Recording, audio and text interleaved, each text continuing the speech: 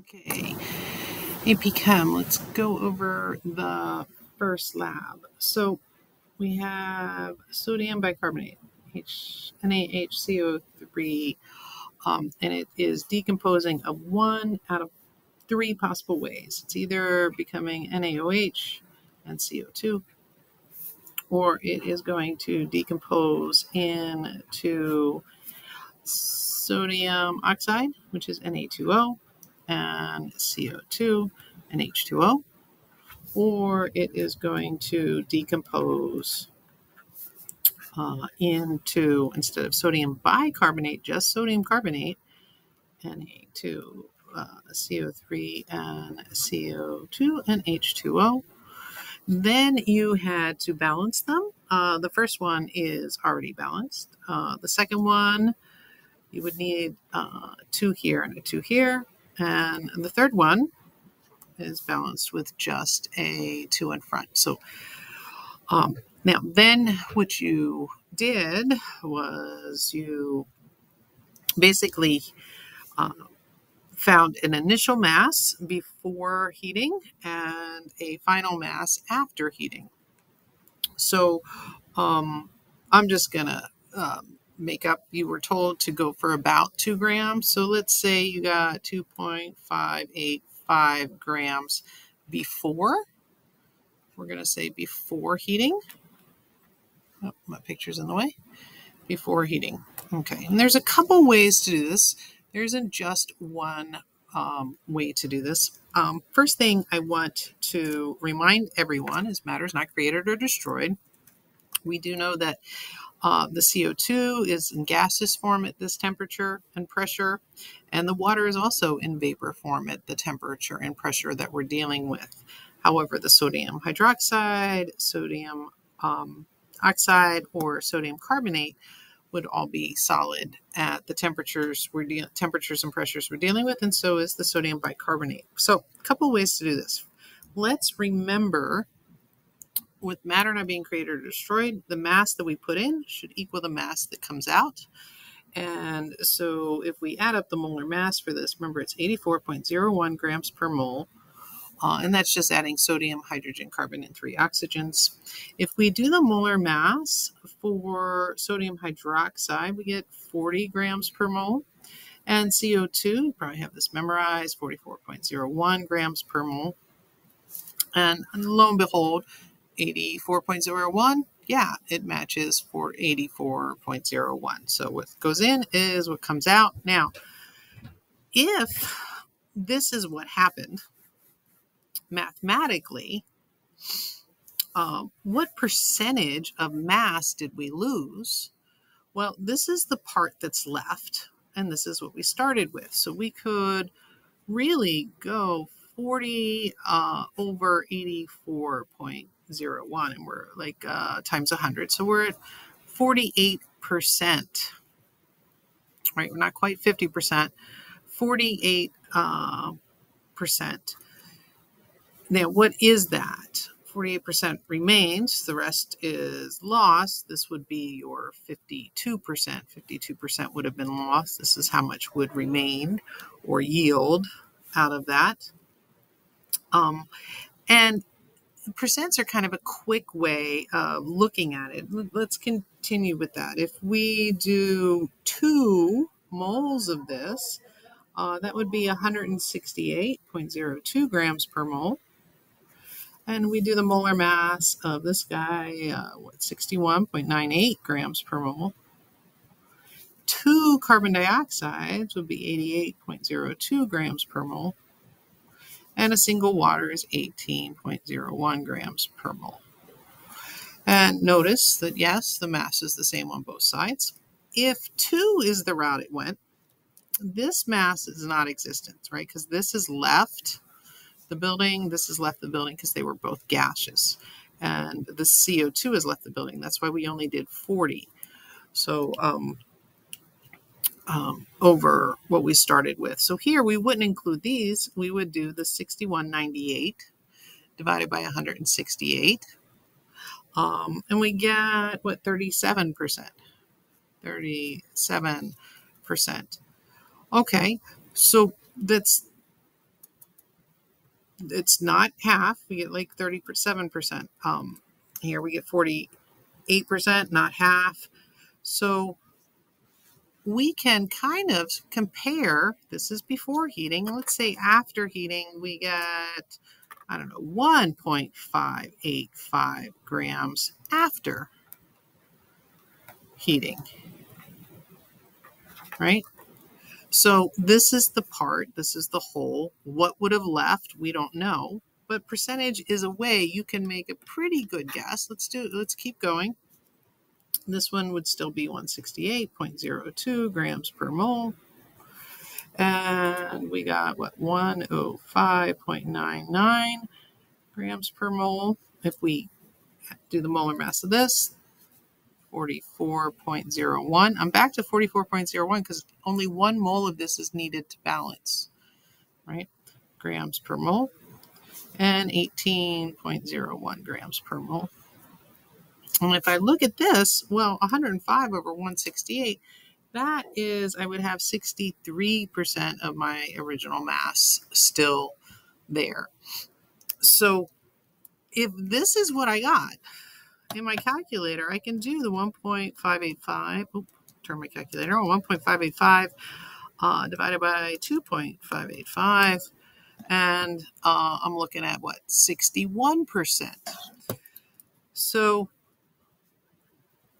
61% is uh, remaining. So that kind of knocks these two out of the running. That's one way. Remember, you have to pick. And hopefully, everyone realized that number one is not it. And the reason number one is not it is because we definitely saw water vapor. There was definite condensation. So that's why experimentally you wouldn't pick this one. You wouldn't pick this one independent.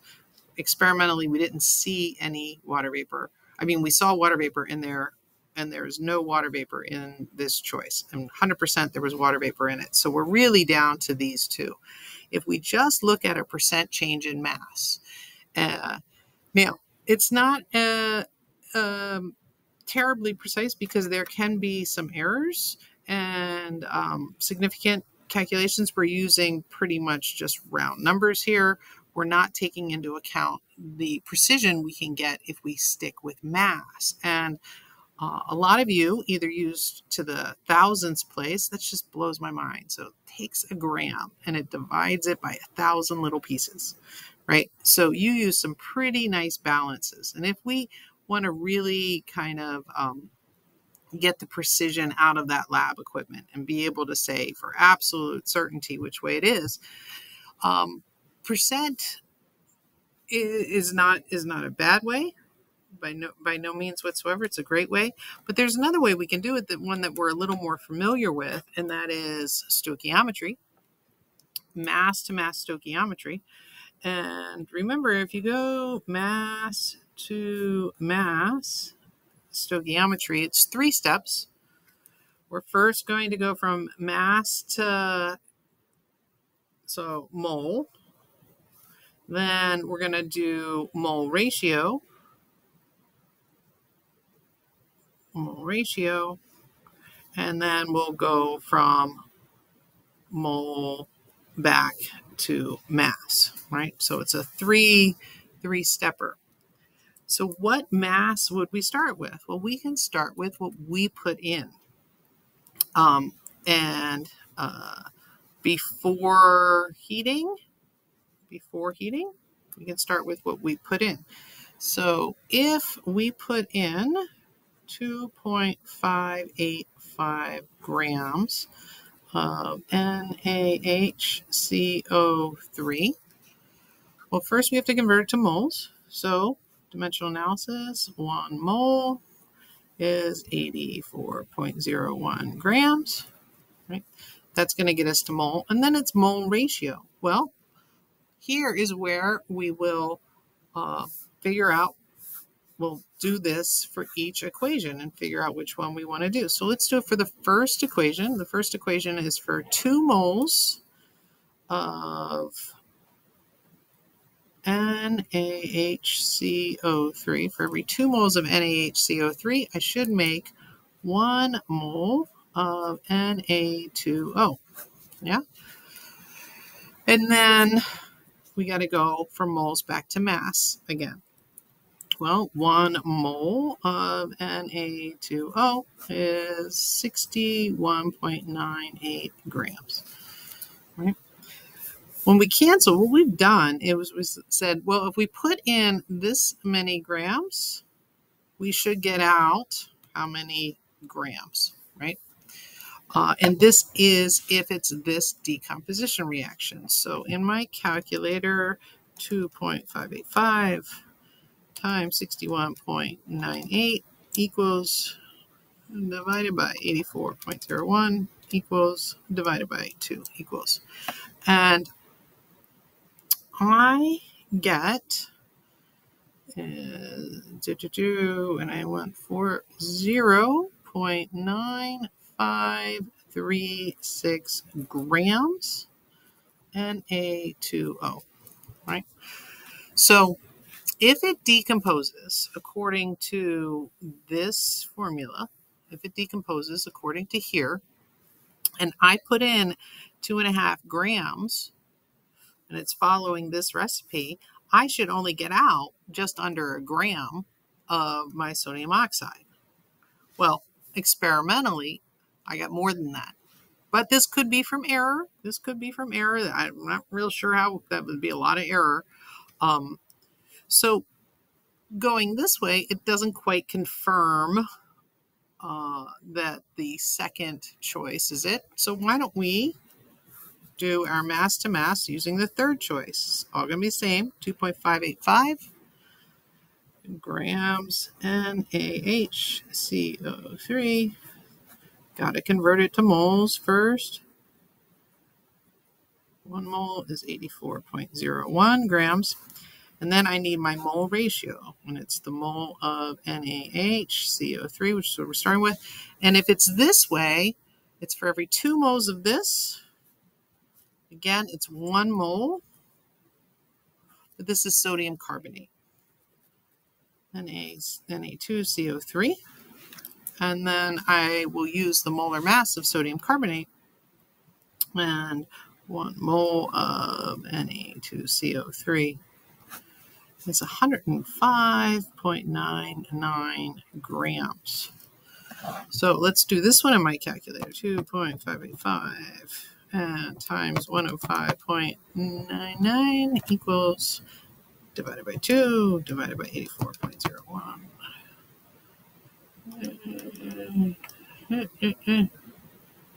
270.9. Oh my gosh, I screwed that one up. Okay. 2.585 times 105.99 equals, then divided by 84.01 equals, then divided by 2 equals.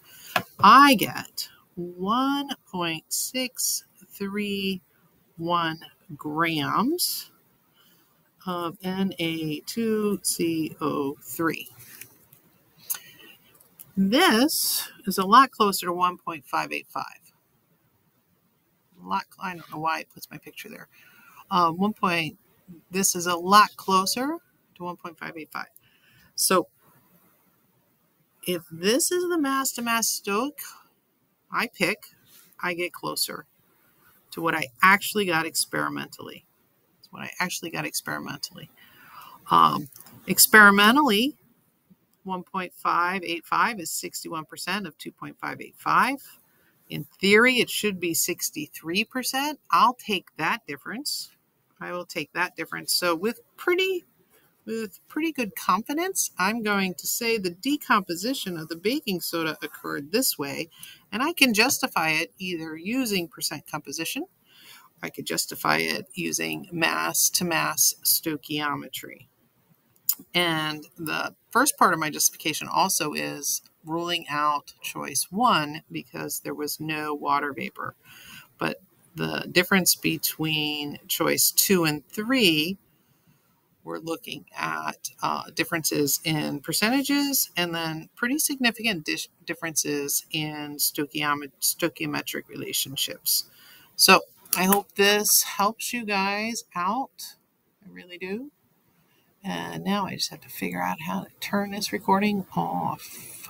So, boom, boom, boom. Well. Come here. There you go.